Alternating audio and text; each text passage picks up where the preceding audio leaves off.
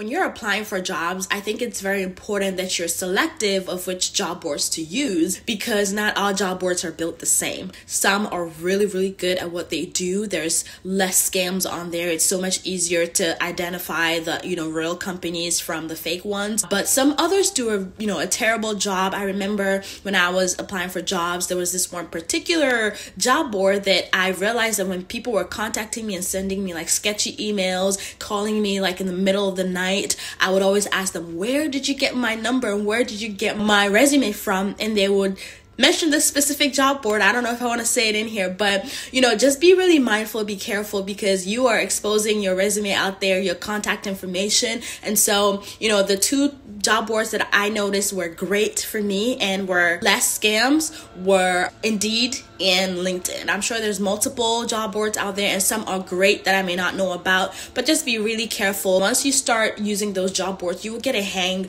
um, of which one's good and which one's not. And once you realize that, make sure to cut ties with the ones that are not good and continue the relationship with the ones that are good. Okay?